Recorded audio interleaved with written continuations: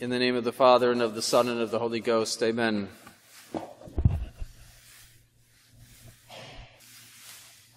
Tomorrow is the feast of St. Mary Magdalene, and I would like to speak to you about that saint today. Mary Magdalene, as you probably know, uh, was a prostitute. She was a very sinful woman. And her first appearance in the Gospel is in Capharnaum, where she bursts into the house of the Pharisee and begins to wash our Lord's feet with her tears and dries them with her hair. Now, there's an interesting footnote about that, and that is when you see St. Mary Magdalene in art, ordinarily she does not have a veil on, whereas the other holy women do. And the reason is that she is considered to have sanctified her hair by using it to dry the feet of our blessed Lord. And she is considered to be one of the group of holy women who followed our Lord around. There was a whole group of these pious women that followed him all around Galilee and his, and his, uh, all of his public ministry. and they helped him. They even helped financially to support the apostles, who could not work, obviously, since they were being trained by our Lord. They provided food, they provided even some money. And she is considered to be one of those. And she appears at the resurrection of Lazarus. Lazarus was her brother. Martha, Saint Martha, was her sister. And although Martha went to the grave, Mary stayed at home grieving. And the gospel says that our Lord sent for her because she was very devoted to our Lord. He sent for her. And our Lord knew Lazarus, knew Martha, and knew Mary Magdalene in a special way, a family that he was close to. So he sends for her.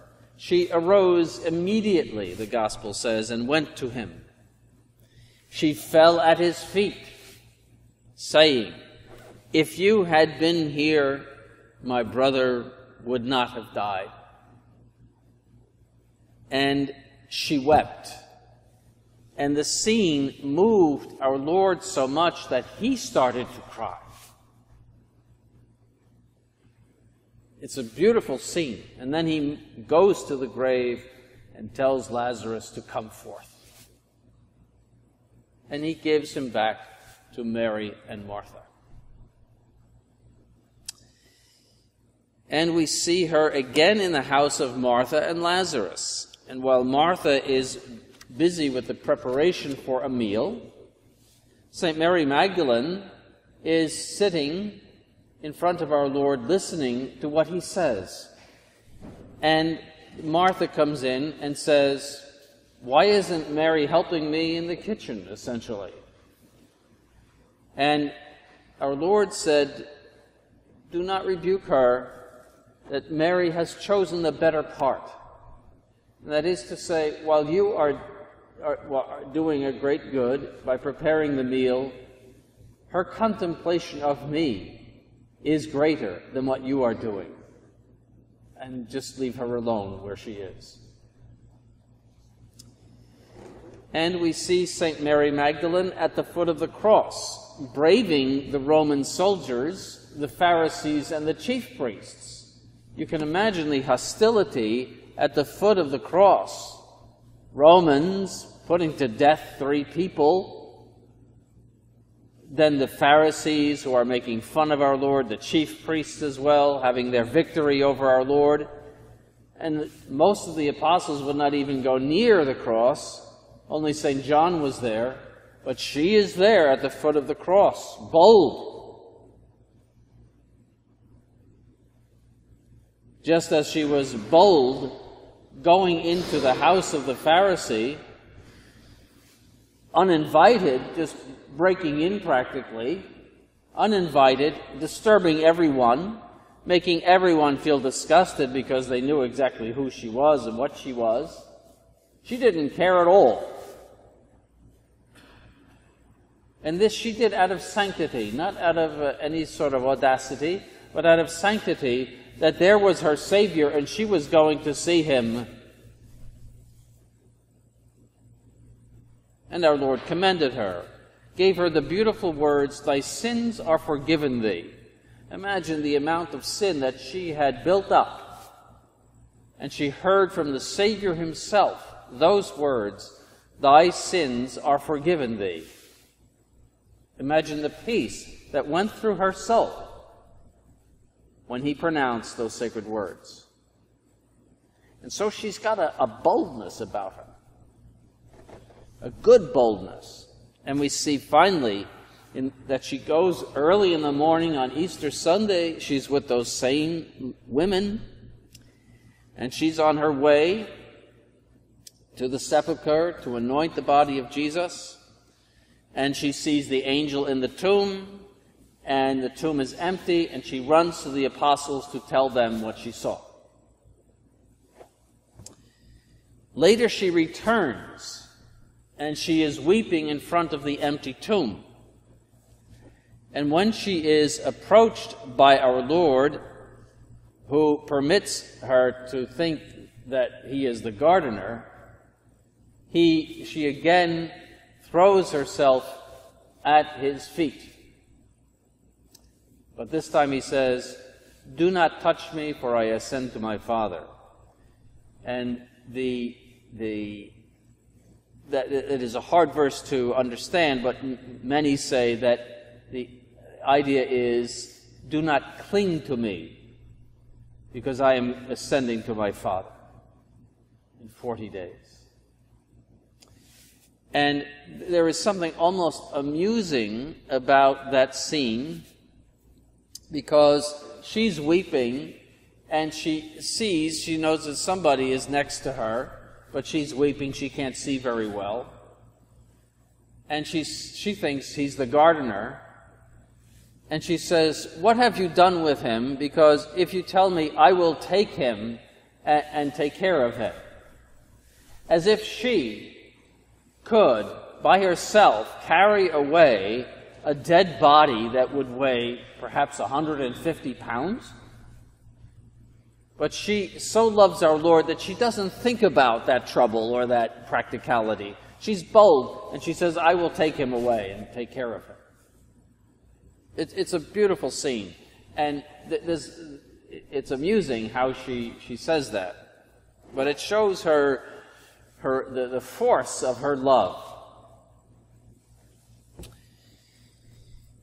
We are particularly fascinated by terrible sinners who have become great saints.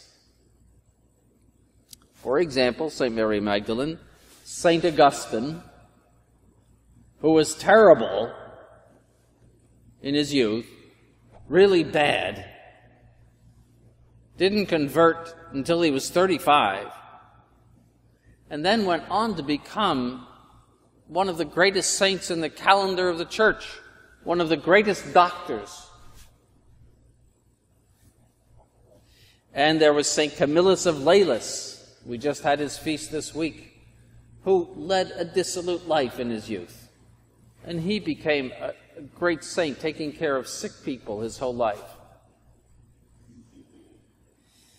And St. Ignatius of Loyola, who was a soldier and who was converted after his be, has, having been wounded.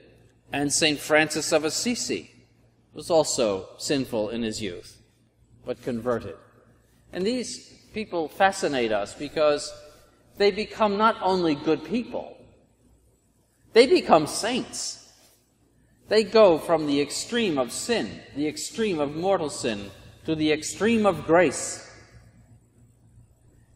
And it tells us two things. One, that there's hope for us. That if we sin, we could become holy again. If these people could become holy, we could too. And if we have a great deal of sin, We can wipe that away by penance, confession. It gives us hope. It also tells us how powerful the grace of God is. That it can take someone in the depths of sin and draw him out not only to lead an ordinary good life, but to become a saint. Because these saints use what we might call the black coal of their sinful life to be the fuel of a very, very hot and bright fire of the love of God for the rest of their lives. They remain constantly conscious of their sinful life, and that burns in them and makes a fire of love for God.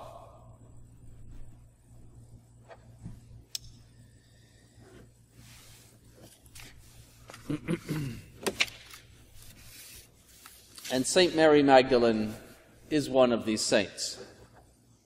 Love knows no rest until it finds what it is seeking, possesses what it loves, and holds fast what it has been longing for. That describes the life of St. Mary Magdalene. She would not rest until she found what she was seeking absolution for her sins. And once she had it, she held on to it by her piety, by her penance, by the complete reversal of her life. She would not let go. And that's why she lunged again for our Lord's feet after he rose from the dead. She would not let go. It's a beautiful life. Now, what should we learn from St. Mary Magdalene? First, Mary did timely penance. Mary Magdalene hastened to the house of Simon the Pharisee as soon as she heard of the presence of Jesus there. She burst into his home, as I said, unannounced, uninvited, and there she expressed her sorrow for her sins without saying a word to him. She knew that he knew. And she just wept at his feet. Her, her weeping said everything. She thought most probably that this was her only opportunity to do this. So she didn't care. Who, who thought what? Most sinners do not want to die in their sins. They don't want to go to hell for eternity. They don't even want to go to purgatory. They want to be happy forever. But they often put off their penance. They neglect occasion after occasion to do penance. Death comes and they have not repented Hell is full of those who intended to do penance but never did.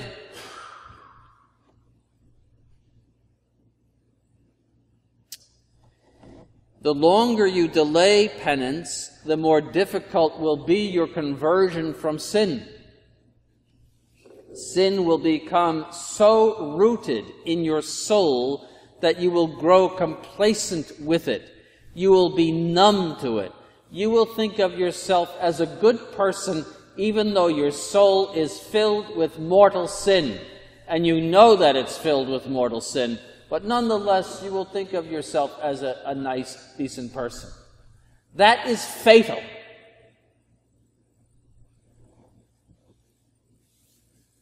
Fatal.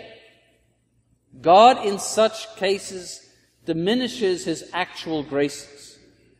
God increases grace as you use them well. Use this grace as well. He decreases it the more you repudiate it. And when you get into that position of a hardened sinner, it's very difficult to get out. I, sometimes people who I know are hardened sinners living in situations that are very, very bad will say to me, Oh, I'm not afraid to die. And when they say that, I absolutely cringe inside because I know it's finished. That they have gotten to that point where they are absolutely numb to their spiritual condition and they are almost certainly going to hell. St. Alphonsus Liguori was extremely fearful of his judgment. And anyone who loves God and knows the majesty of God and knows the righteousness of God fears judgment. There is an old saying there is no such thing as a free lunch. And even if you don't have the faith, common sense will tell you that you're not going to get away with sin. We are moral beings. We are not animals. We hold human beings responsible for what they do, and that's why there are courts of law, prosecutions, jails, electric chairs. Because human beings are responsible for what they do. And when they do evil, evil must come upon them as a payment for sin. And that responsibility is not sensed at all among the animals.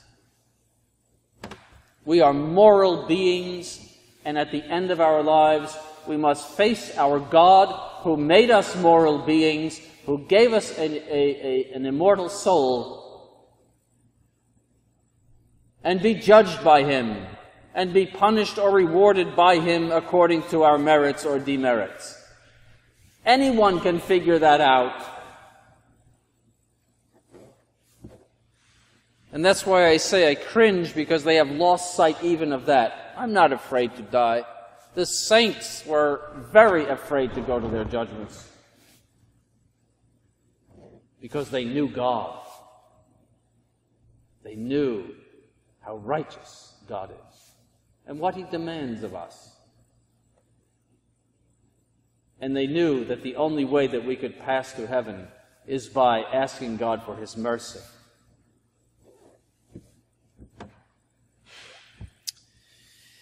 And St. Mary Magdalene, secondly, did penance thoroughly.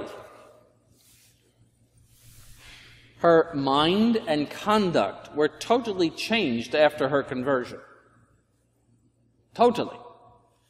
She renounced her worldliness and gave her life over to works of piety, following our Lord wherever he went.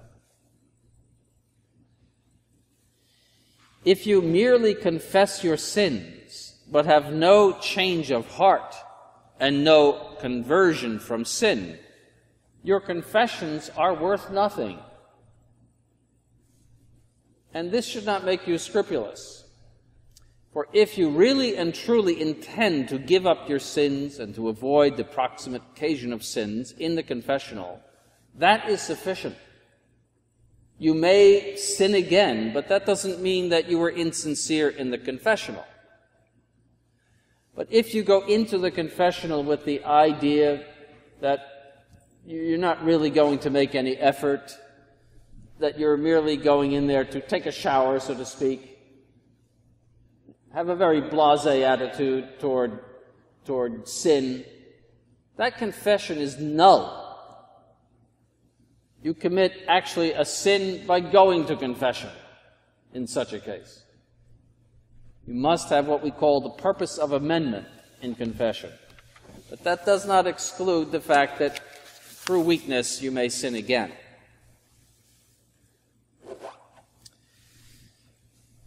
And thirdly, St. Mary Magdalene did penance perseveringly. She went to the end of her life doing penance. And we must do the same. Our amendment must not only be thorough, that is deep, but permanent. It must stand the test of time.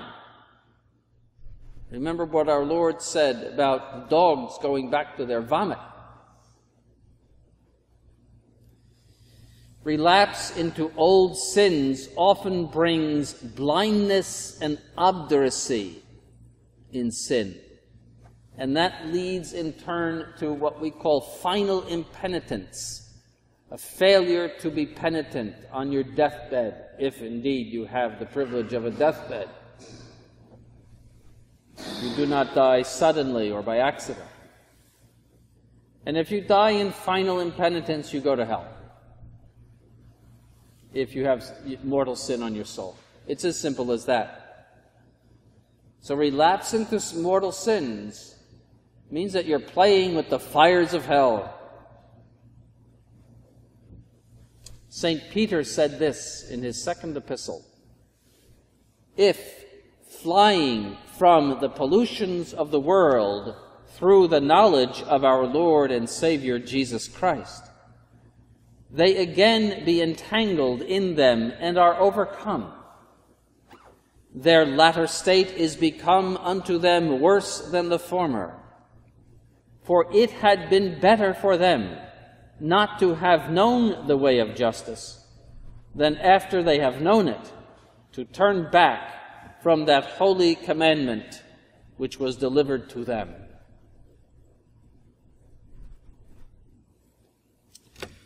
So you should renew daily your resolve to sooner accept death than to commit a mortal sin. Death, but not sin, as St. Dominic Savio said.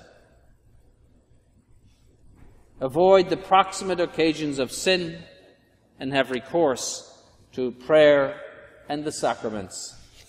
In the name of the Father, and of the Son, and of the Holy Ghost, amen.